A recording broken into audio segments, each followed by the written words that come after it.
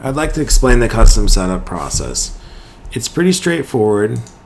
You order service, then you tell us what pages you want, what your site name is going to be, um, what specific widgets you would like, such as you want a, a weather radar map, or if you want a PayPal donate button, things like that, the little things. And then you complete the first form. That covers the basic wireframe of your site. Then you go on to step two, where you're able to upload things that you want specifically on your page. Because obviously, we don't know anything about your organization. So, this form right here, where it says content, logo, and images, that helps you tell us what you want to appear on your pages.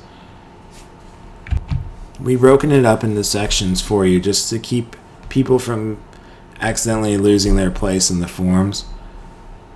So the first covers the main logo, the home page, and other common pages that almost every club seems to want to have. The second is for your specific pages.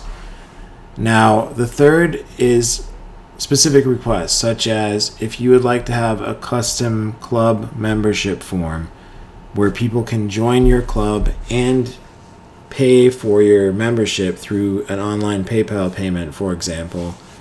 This is the form that you would want to fill out.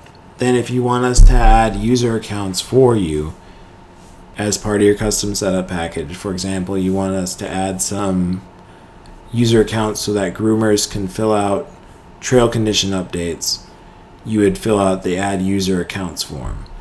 And then when everything's done and you're confident that you've successfully pulled everything off your old website, you would want to fill out the domain name server change. So I'm going to go ahead and cover each one of these steps in greater detail for those that would like to have us review it.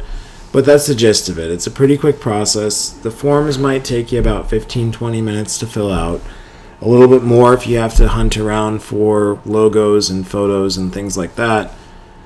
But keep it in mind that as part of your custom setup package, we want to make sure that your website is working, meaning we will go through all the heavy lifting of getting all the pages configured, all the sidebars and widgets configured, as well as your custom applications such as the Facebook Sync and the Flickr photo albums. So we'll set up all that back-end work and leave you with a, a shell of a website, for example, if you don't give us any content.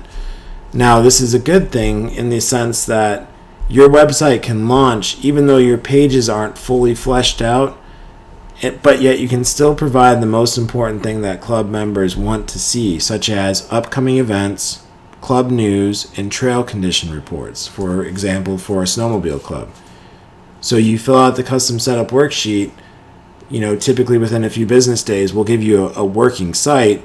Then, if you're ready to transfer your domain name server over where you've pulled everything off your old page that you want, you fill out the, the optional domain name server change we change your domain name over so that the domain starts pointing at our new club hosting site and then you're up and running where you can add events you can add trail conditions things like that. Then you know throughout the rest of the setup process we can change your headers out.